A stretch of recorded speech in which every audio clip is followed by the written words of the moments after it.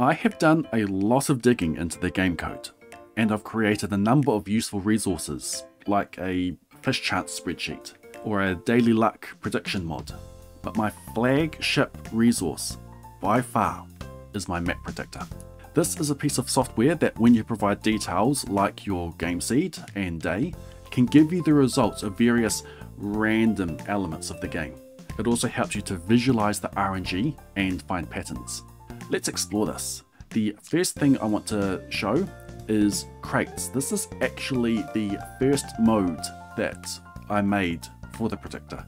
Originally this was just a mines predictor and originally it was just for crates. So when I set the floor number here it gives you the floor layout of floor 1 and it shows you what the contents of crates would be if there was a crate on that tile. Something to point out here is that there's a filter that you can change and just tick the things that you're interested in. So if there was a crate on this tile right here on floor 1 on the 1st of spring year 1 that would contain an amethyst. Every time it would contain an amethyst. An interesting thing to note about the crates is that the seed does not matter. These results are what you get every save. It's not tied to your game seed. And everything moves to the left one each day. So when I increase the day by one, everything moves to the left one. This lets us have knowledge. You are not going anywhere, Gordon. You will enjoy these pets. You will settle down. You will be my mascot.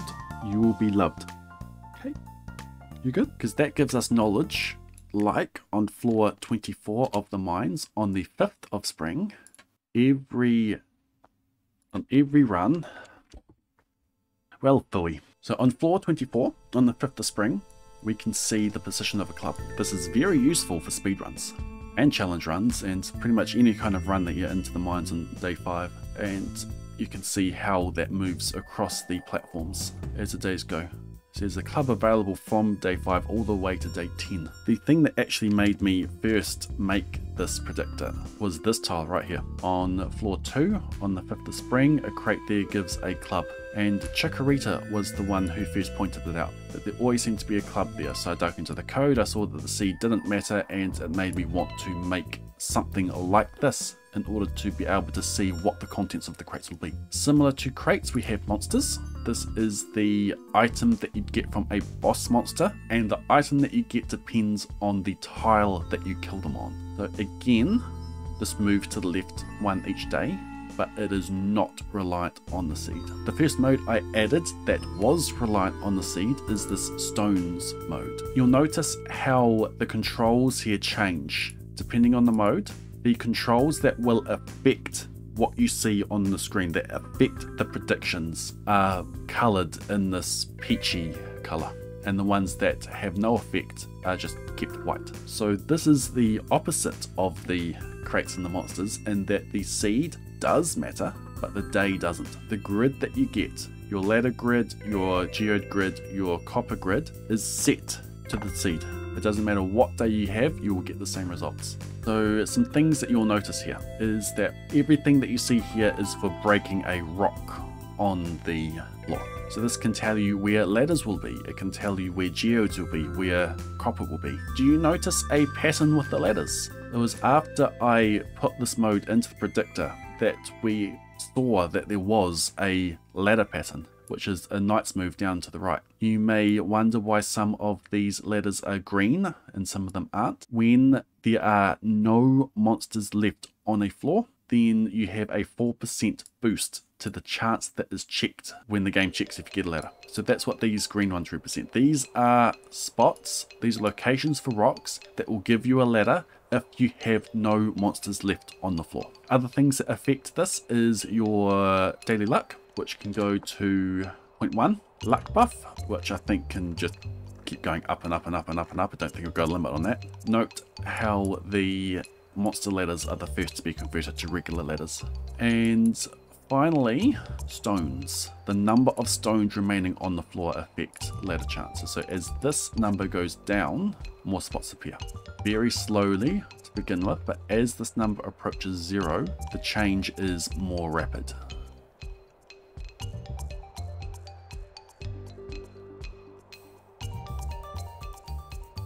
Here we go, boom. when there are two rocks remaining on the floor, so when you break the second to last rock, you're guaranteed a ladder. I set this to 100 because it's a high number. Chances are that if you have a rock in these spots here, you will get a ladder. And then you've got spots of geodes and copper. If you tick this one here, if a ladder exists, so if a freebie or a rock ladder exists, you can see how the drops change. And then also over here we have what will drop from different types of nodes, so copper nodes. If there's a copper node on these spots here, it shows you how many pieces of copper ore you'll get from them and how that changes when you when ladders exist. If you want to go into the Skull Caverns, there's a Skull Caverns mode over here, which lets you change the layouts and if you want to make it even easier on yourself, you can upload screenshots and this will overlay your predictions over the screenshot that you put up and that everything aligns perfectly. You still have to set your floor, but effectively puts a layout in there for you and you can reduce things like this transparency here in order to see what ladders are over rocks. That's a cool feature there. You can upload a screenshot. Actually, it's worth pointing out um, difficult mines, difficult skull caverns. This only really affects the crates. Volcano, it's this is only basic. This only shows you the layout of the volcano and if it's flipped or not. You can use this to find locations of golden walnuts and coal. I do plan on expanding on this in the future to fully show you what your volcano will look like. That is fully seeded. It is possible. It's just going to be a bit of work. All right, let's move over to locations. So there's two combo boxes here. You have this box here, which will load the map with the different locations all preloaded. So that is all the different locations. Cool, you may think. You can get different screenshots of the game, but the beauty of this comes into the mode. There is a lot of modes in here. So we're going to skip analyze file for now. We'll come back to that at the end. We are going to look at artifacts first, and let's bring the transparency back up. Artifacts show you what you will get from an artifact spot if an artifact spot was on that location. So you can see that there is a huge grid of all the different possible drops. This here is tied into the location that you set because different locations have different items. So see here you got your ancient seed, you got your trilobite, you got your prehistoric skull, you got your dino eggs. If you then go to the beach, you then have your starfish, you have your anchors, you have your nautilus fossils, you have trilobites again, palm fossils glass shards. If you go into town, you can see how everything changes. If you go to the forest, you can see how everything changes. This is tied into the day and the seed. As the day goes up, the grid moves up. So see this line of books here? Day goes up, everything moves up one. As the day goes up, everything moves up one. So that's quite cool. A feature that I haven't shown off yet is this here, file, upload, save. Upload save lets you choose a save and that will then enter things like what the day is, like what your seed is, what your daily luck is, your minor skill, your luck buffs, your professions, and then it also lets you use your save file when looking at this. So if we have a artifact spots, because it's quite a lot to look at this. Yes, this is a lot of items. However, if we go to the desert and we take this use save file option, we will see just the artifact spots that exist. So that one there and down here.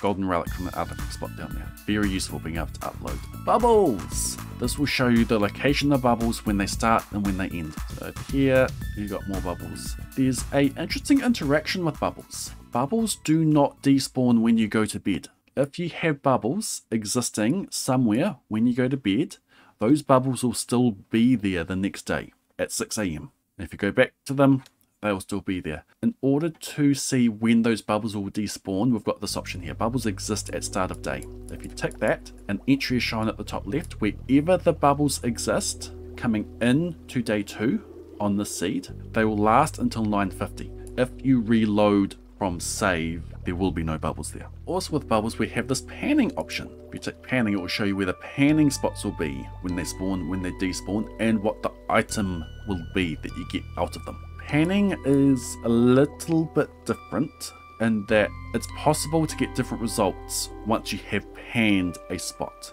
since a lot of this RNG relies on does a spot currently exist or not. If a spot does not currently exist, the game will try to place bubbles or panning. If the spot does exist, it'll try to despawn them. If you want to see all of the panning items, there's this panning items mode. It just fills the grid with what would be in each spot if a panning spot existed. And you can see how these spots move one to the left every day. And you can see how it all changes with uh, different luck. So you can use this to try to spot some lucky rings. Where is the lucky ring? So right now, no lucky rings possible. This is affected by daily luck. So with a good daily luck, you can see all the lucky rings, and, with, and that's with the luck buff as well. Alright, what do we have next? We, after bubbles, we have crab pots. Crab pots is... Crab pots does not work properly. That's why I have beta there. There's something to do with the ordering of the items that you can get from crab pots that I'm not fully accounting for. So the best thing you can do for this is just understand that as the day goes up, the whole grid moves up one. So if you want a lot of crabs and you get a crab from a crab pot there, if you want it the following day, you move the crab pot up one, and then you move it up one, then you move it up one, then you move it up one. Uh, crop quality amounts. Let's go back to the farm for this. Crop quality and amounts shows you what quality crops will be when you harvest them. The important date for crop quality is the date that you harvest. The date that you plant has nothing to do with anything other than when it's going to be fully grown. Crop quality is not dependent on when you plant, it's dependent on when you harvest. And if you harvest them on different days, you can get different quality crops. You can use this mode to see how these spots change and relate to each other as farming level goes up. You can see how there's sort of these square patterns here. You'll also notice that no gold spots are ever taken away, they're only ever added to. No silver spots are taken away except when they get upgraded to gold. Also see what fertilizer does. Fertilizer adds spots similar to the farming level goes up. Also of note is this thing here crop. There's a number of different crops in here. So you can see that when you harvest a cranberry, most of the spots you get are going to be two, but sometimes you can get a third cranberry, sometimes you can get a fourth cranberry. When you look at unmilled rice, sometimes you get bonus unmilled rice. When you look at hot peppers, sometimes you can get bonus hot peppers. You can occasionally get some extra bonus crop no matter what is planted which is dependent on daily luck and luck buff. So with a luck buff of 1, you harvest any crop here. You harvest a sweet gemberry here, and you get two of them. You get two ancient fruit, you get two parsnips. Then we come to potato. So you can get multiple potatoes. Something that I used in my spring 18 marriage run was a spot like this. 20 potatoes from one spot. One potato plant can give 20 potatoes. Also note how there's multiple 20s as they go down. The calculations that goes into these spots is exactly the same. It repeats across the farm. You move 11 to the right and you move 7 up and you get the exact same RNG results. Also note what happens when the day goes up one. The spots move 3 to the right and 2 up. So keep a close eye on this spot right here. When I move the day up 1, this 20 is going to move there. Watching? Watching? Boom. So spots move 3 right, 2 up, and they repeat every 11-7 or 7-11. Alright, that is crop quality and amounts. What is next? Fish pond. Fish pond relies on setting a type. These are all the categories as specified in the game. Catfish, desert fish, freshwater crab pots. This shows you when you are going to get what items. The important tile is the top left. The top left tile of the fish pond is what you use to determine what you'll get from it. And it's the morning of the day. So if you have a fish pond with the top left tile here and it's got catfish in it, on the morning of spring 15 year one on the seed you'll get one catfish roe. And you can see how as the population goes up, you can see how all these spots increase and you can see what items you'll get from all the different kinds of fish. So for example, the rainbow trout is the one that can give you prizzies very, very rarely. So rare, in fact, that it is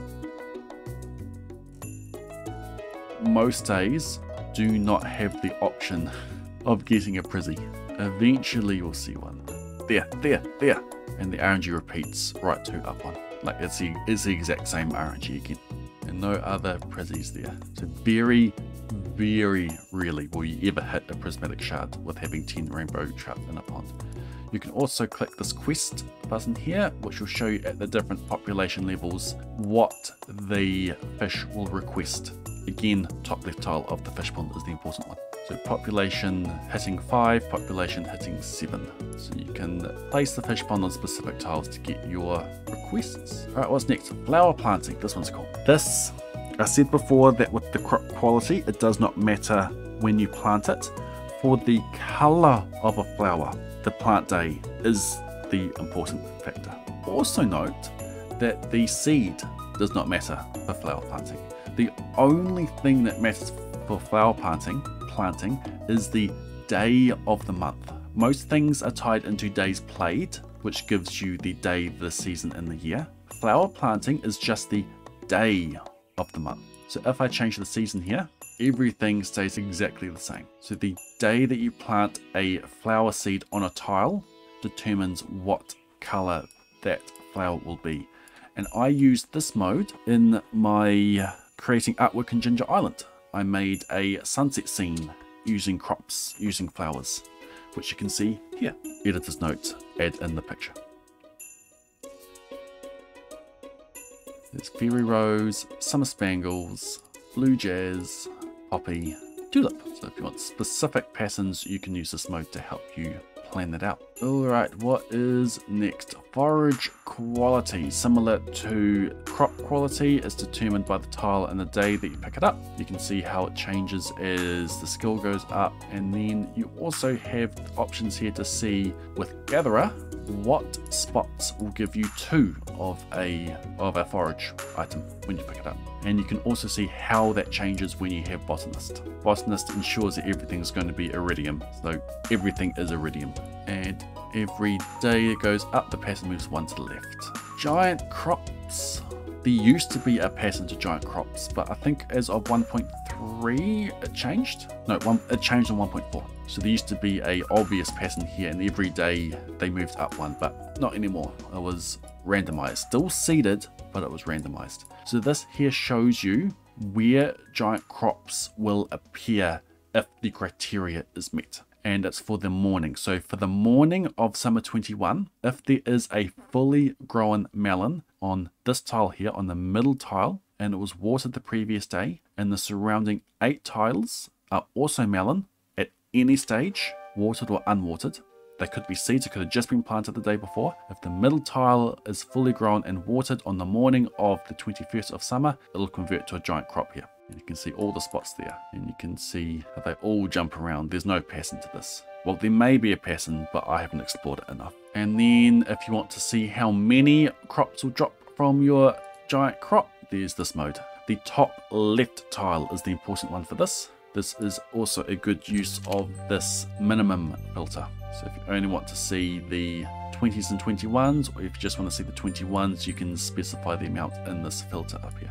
You can see an example of a giant crop converting with only the middle crop being fully grown and watered in the TAS marriage speedrun. Okay, next is large stumps with Forester. When you have the Forester perk, the large stumps have a 50-50 chance of giving an extra piece of hardwood. So for example, on the foraging farm, you have the large stumps over to the left. This will show you, again it's the top left tile that's important, this will show you what crops will give the extra piece of hardwood when you have Forester. The large logs will always give a bonus 2, there's no RNG at all, it just gives you 2 pieces of extra hardwood. The stumps is a 50-50 chance. Owl slash Strange Capsule, not as important as of 1.5, the mode seems to be broken anyway. This would show you what 50 tiles are considered when trying to drop a Stone Owl or Strange Capsule. 1.4 and prior, every single tile needed to be open and being able to place a piece of furniture on it. As soon as one of those was the farmhouse, as soon as one of those was the water, you would not get a strange capsule or a stone owl that night. As of 1.5, any tile needs to be available. Uh, panning items, we've already looked at that. Recycling, this one is tied into the time. If you load trash into a recycling machine on these tiles at 6am, it shows you the item you'll get. At 6.10, shows you the item that you'll get. So soggy newspaper, if you want cloth, you put a seed maker there, you put your soggy newspaper in at 6.10, and when that finishes, you'll have a piece of cloth. Similar to recycling are seed makers. Seed makers here have a few different options. If you just want to get three seeds from a crop, you load it at the time shown here. If you want to get four mixed seeds, for whatever reason, you load it on these times here. If you want to get an ancient seed out of these seed makers, you load it at these times at these locations. Yes, it does work in a shed. If you want to do this in a shed, you will need to upload a screenshot that you take of your shed. But all of these tile locations are based on the top left. This here is 00. 0. Any location will work as long as the tile location coordinates hit.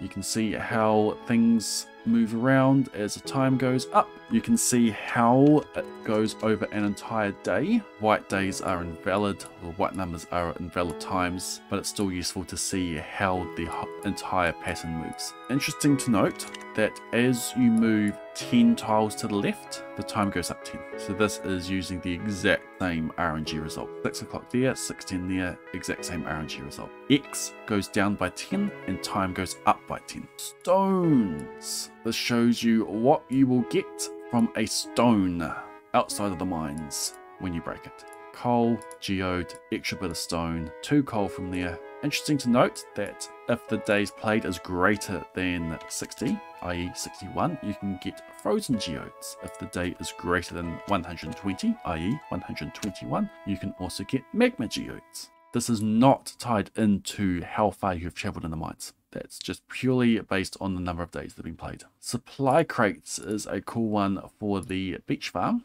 This does change based on the seed, but it doesn't change.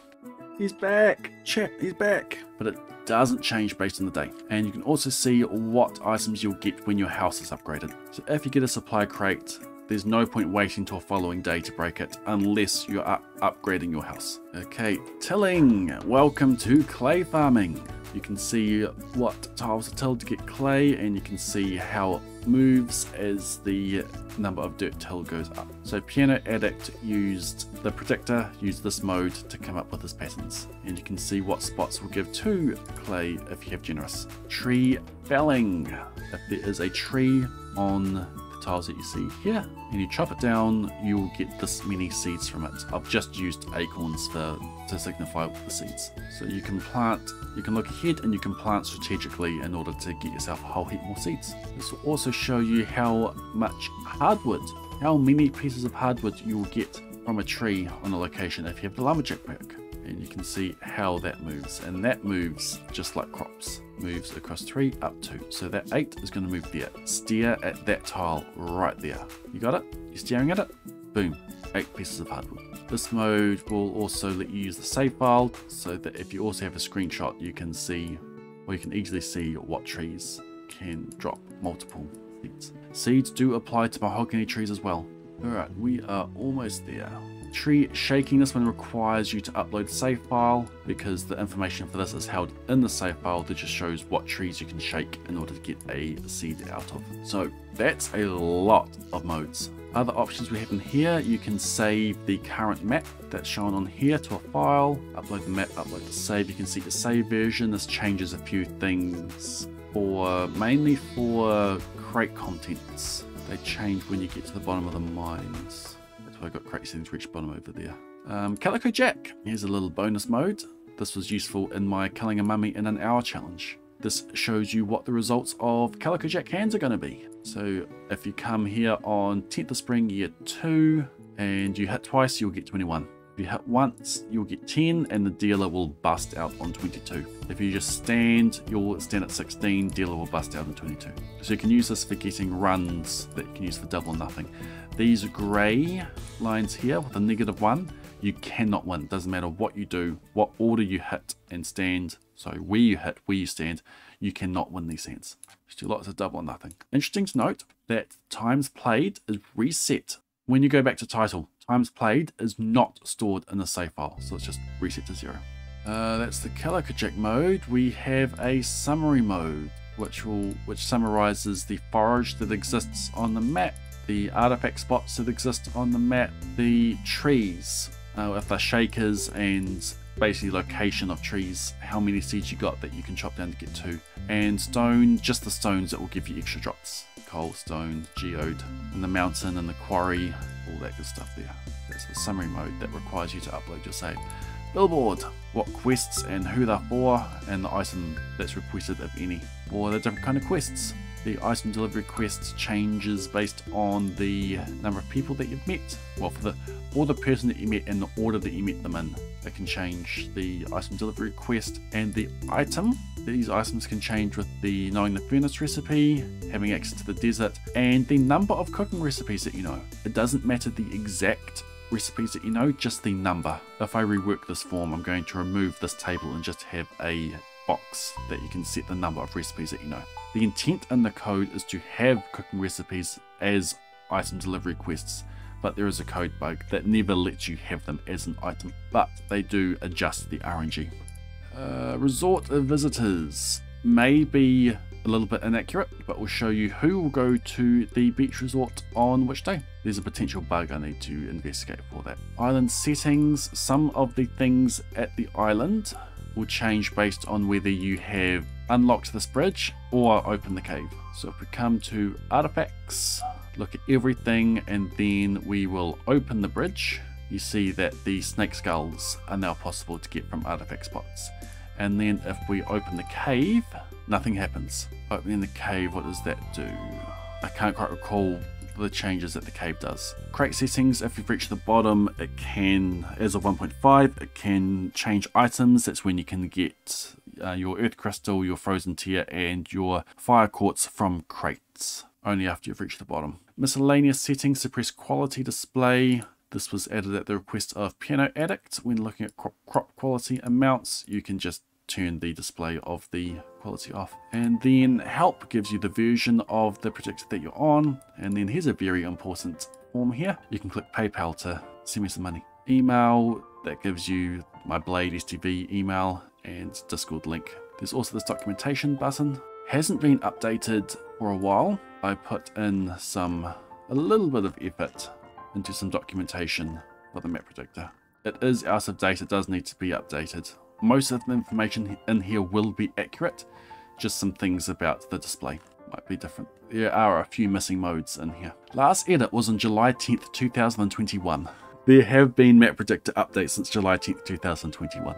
Ah, you may be wondering where you can get this predictor from. I have this predictor uploaded on Nexus Mods. Here is the mod page here, Map Predictor. Thank you for coming to my TED Talk.